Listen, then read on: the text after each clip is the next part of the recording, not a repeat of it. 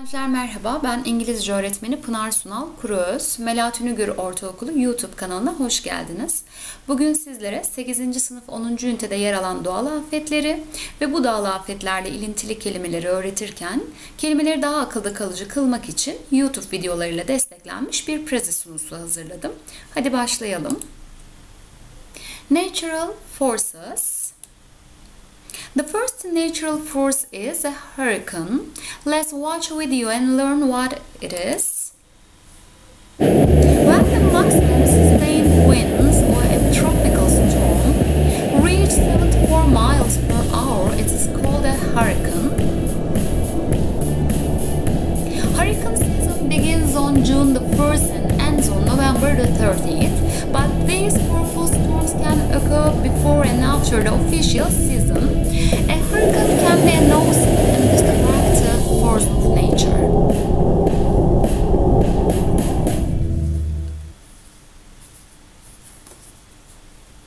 Okay, now let's learn another natural force, tsunami. What is a tsunami? I don't know. Tsunami is a series of giant waves. In Japanese, tsunami means harbor wave. And in Chinese, Oh, just listen. A wave is created when energy passes through water. Moving air or wind provides energy to water, forming regular waves. Hmm. While on the ocean floor, when a tectonic plate suddenly slides beneath the other, the resulting earthquake releases a tremendous amount of energy.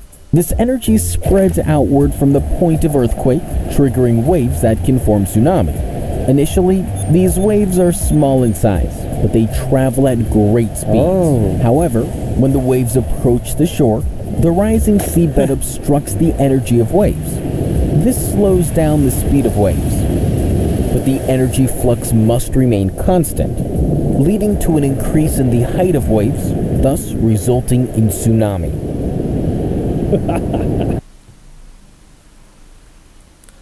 It's time to learn another natural force. Let's look what it is.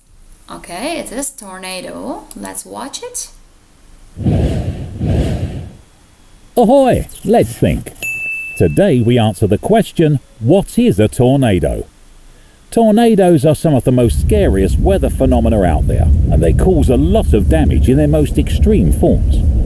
A tornado is essentially a column of air which rotates very fast. It touches the ground but also the base of the clouds, creating effects like whirlwinds or twisters. In some cases, tornadoes can achieve high speed winds, even more 300 miles per hour, which is so much more than even the fastest cars racing at full speed. Some of the most extreme tornadoes have the power to destroy a building and even affect large skyscrapers with substantial and costly damage. Some experts claim that we're seeing more tornadoes because of climate change. The surface temperature of the sea is increasing and the moisture in the atmosphere is becoming much higher. For this reason, the cool season can be affected by more tornadoes and other forms of extreme weather conditions that might be potentially dangerous. Ever since the 1950s, there has been a conscious effort into trying to spot tornadoes in advance, to warn people so that they can get to safety. Today we have advanced weather radars, which make the task a lot easier. So, if you know a tornado is coming, you should take shelter in a basement if possible. If you don't have a basement, you should protect yourself by going under a heavy table or desk. The most important thing is to stay away from windows, outside walls and doors. Also, as cool looking as they may be, do not go chasing tornadoes, as they are unpredictable and can change source abruptly. So, that answers the question what is a tornado? That took some thinking. The fourth natural force in our unit is an earthquake. Let's learn it by watching a video of an earthquake. When the earth shakes, the ground moves, and things start to fall, you'll ask yourself, how prepared or unprepared are you? Have you removed objects from over the bed and over your head? Anchored your possessions securely to the wall.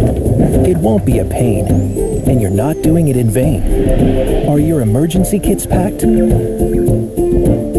What about your family, your friends? Do they know what to do, how to get in touch, and where to meet? Do you know how to drop, cover, and hold on, covering your head and neck? What if you're outside? Or in a car?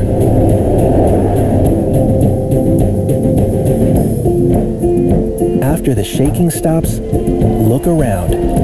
Figure out what to do. Stay away from damaged areas. Turn on a radio. Reach out for help. And if you're trapped, do not move about. Stay calm. Only shout as a last resort. Once everything and everyone is safe, get prepared. An aftershock could be on its way. So before the earth shakes, the ground moves, and things start to fall, get prepared. Make a plan. Practice what you know, because an earthquake can happen anytime, anywhere. You never know.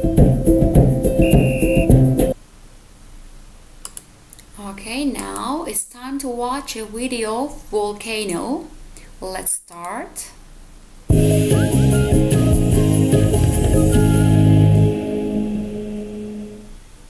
Ahoy! Let's think.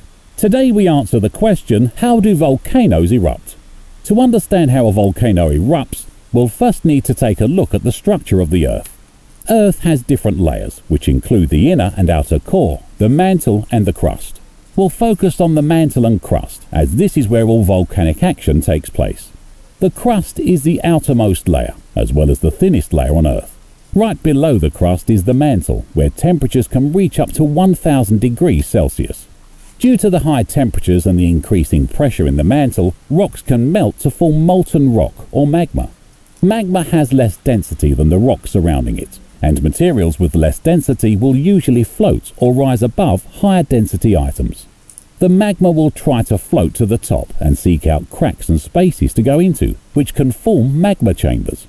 With the right conditions, such as extreme pressure, changing heat, and tectonic activity, the magma can rise through the magma chamber and erupt through the Earth's crust, causing a volcanic explosion. The magma we see flowing on the surface is lava, and as the lava cools, it forms a volcano. Just like there are different sizes and shapes of volcanoes, there is also different types of volcanic eruptions, such as Hawaiian eruptions, which occur when lava shoots into the air in jets through a vent. The jets can last for as long as days and is known as fire fountaining. Probably the most dangerous eruption is the Plinian eruption, which is the largest and most violent.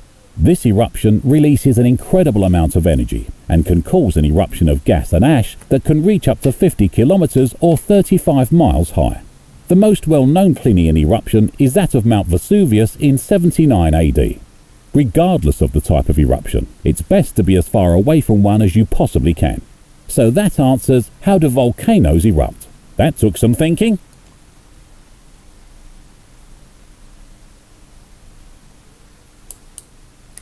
Okay, let's see what an avalanche is with the help of a very short video of it. Pardon.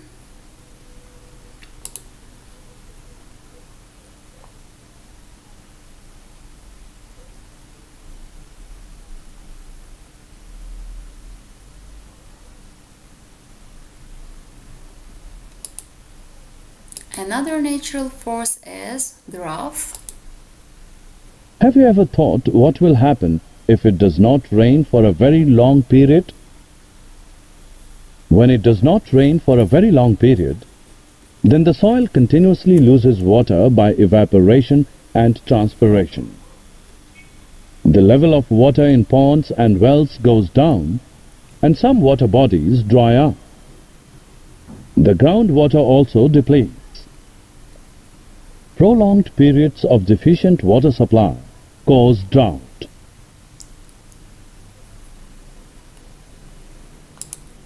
What if it rains too much?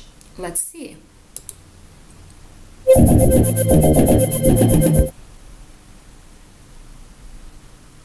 Floods can form after heavy rain over a long period or when a large snowfall melts. There are many different types of flooding which fall under three main categories. The first results from overflow. After heavy rain, a river can burst its banks. The water can engulf entire valleys far from the precipitation zone. Other tributaries add to the flow of water, worsening the deluge further downstream. The second type of flooding involves the accumulation of water in lowlands or basins. In normal weather conditions, water is absorbed into the ground and merges with the water table. When the ground is saturated, water builds up in low-lying areas. Runoff then quickly fills the valley and its waterways. The third type is caused by urbanization in flood-prone areas. Excess water passing through drainage systems can accumulate in low-lying zones. This effect is worsened by the coverage of land with buildings and impermeable surfaces such as concrete. Less water can be absorbed into the ground, overloading sewers. And the last natural force to learn is landslide. What is landsliding? Let's learn it. A landslide is the movement of rock, earth, Wah, asal nanti ada, nanti ada. Sudah. Wah, wow, pialang, pialang.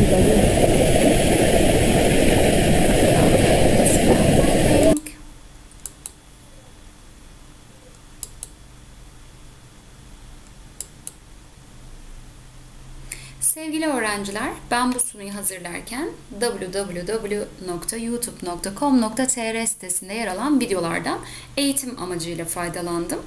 Umarım sizler için de faydalı olmuştur. Bir başka derste görüşmek üzere. Ee, hoşça kalın ve lütfen sağlıkla kalın.